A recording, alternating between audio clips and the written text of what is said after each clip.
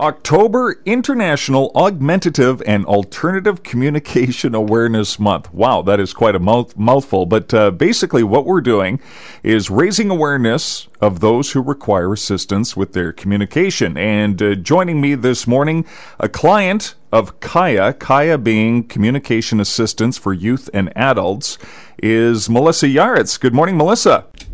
Hi, it's so nice being here. Melissa, you're you're probably the first person I've uh, I've ever interviewed this way. Ha- have you done a lot of interviews? Yes, I have done interviews for newspapers, magazines, and a live television interview, but this is my first radio interview. All right, I'm the first. All right. Uh, now I understand you do some some public speaking.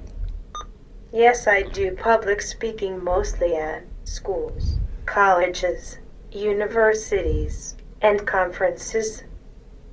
Now, what do you speak mostly about? What are, what are you uh, telling these students?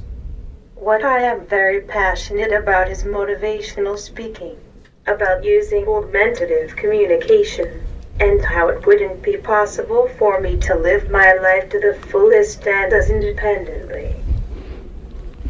Now, what is your disability? I have cerebral palsy, which is a form of brain damage. In my case, it is severe and affects all of my motor skills as well my speech. In no way has it impacted or hindered my intelligence. I understand you're a very good student. I graduated from high school two years ago with a 4 point GPA. oh, is that all? Okay. Uh, now, how long have you had this machine that uh, allows you to communicate?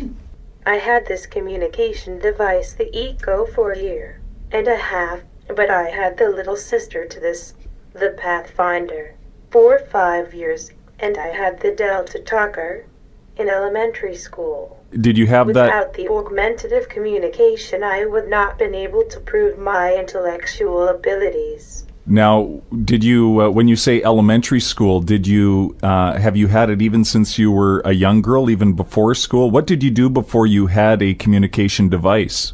I started communicating with gestures and spelling everything letter by letter on a printed out alphabet board. This was very exhausting for everyone.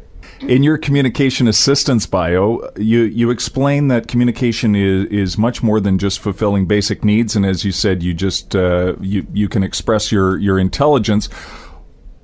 This tool does so much more than just uh, telling people what your basic needs are. Yes.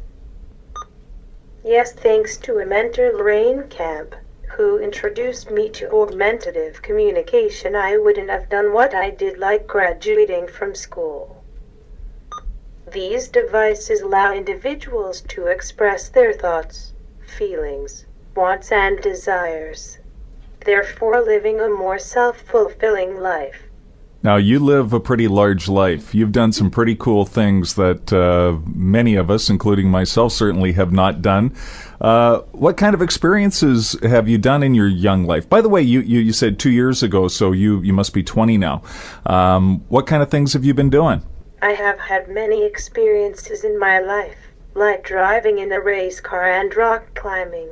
An extraordinary young woman, Melissa Yaretz, and uh, we'll talk more with Melissa tomorrow as October is International Augmentative and Alternative Communication Awareness Month. Okay, and uh, CAYA, Communication Assistance for Youth and Adults, very worthwhile, and uh, what a neat tool that allows her to uh, express herself like anybody else.